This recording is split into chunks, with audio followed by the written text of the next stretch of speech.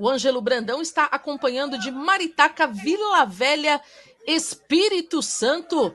Está parabenizando aqui a imagem da transmissão.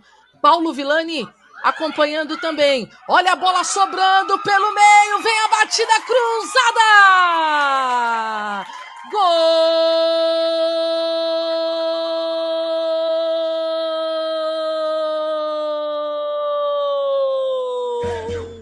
Do Horizontino! Marca dos 15 minutos!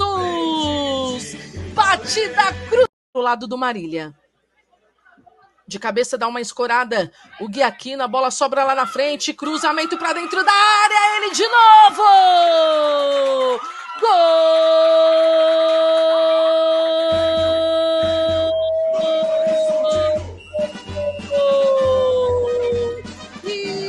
Isaac, Isaac Pelé na jogada pela linha de fundo, construída pelo Eric Bruno. Olha só o tapa que o Ronaldo dá. O Eric Bruno entra consciente, só dá aquele tapinha pro meio da área.